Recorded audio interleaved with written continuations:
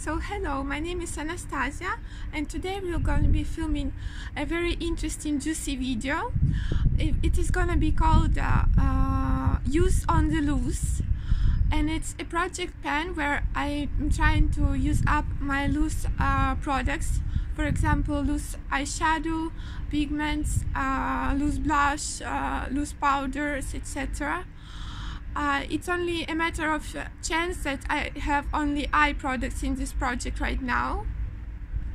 And I wanted to show you the products that I rolled in.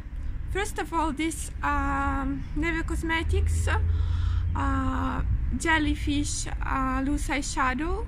This is a mineral eyeshadow. I don't know if you can see the name. It's called Jellyfish. And um, this is the swatch of it here. The first uh, light uh, swatch here. So this is how it looks. And I'm gonna try to pan it. I also have this uh, pigment from NYX. This is called Crazed uh, pigment number 18 uh, they still have this in, in their collection. I don't think you will be able to see it but uh, this is how it looks in the packaging and this is how it looks on my uh, hand.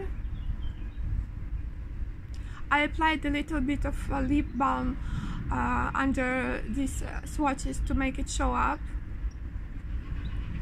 So this is the color. And I also have this uh, NYX Glitter Brilliance in number 2 Rose that I really like.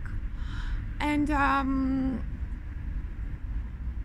I swatched it right here. As you see the third swatch here. This is very pretty. It's it kind of re reflects a lot of shine as you see. And it's pink glitter. This is coral pink uh, mostly. And this is like a classic pink I think. This doesn't have glitter. This has only mica in it and this one has glitter uh, so I also had one product that I didn't open yet in my project. This is a NYX uh, pigment in number uh, 01 Nightingale. And I'm gonna open it and swatch with you. So I'm, um, I'm opening it up and let's compare the quantity in the packaging uh, with the one that I already used.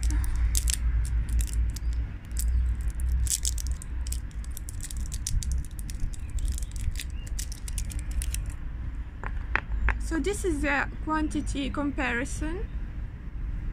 As you see, this one is full and this one is used. So the Nightingale, I will um, swatch it with this uh, little uh, sponge. I usually use my pigments with these sponges. Um,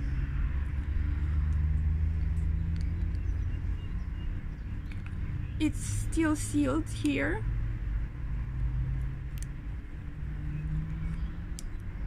Let's gonna see how it looks.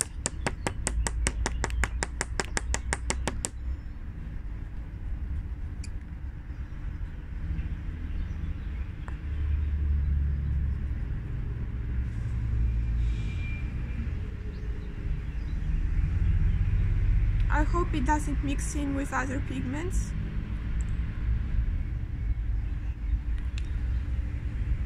But this is the color I'm I was able to obtain from it. So this is kind of a lighter uh, purple one. It's kind of more, li more lilac color. Nightingale from uh, NYX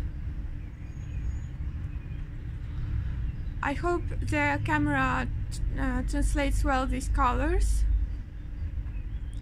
So what I wanted to add to, the, to all of this is that I weighted all these pigments and uh, uh, glitter and loose eyeshadow and uh, the weight of four of them together was 21 grams.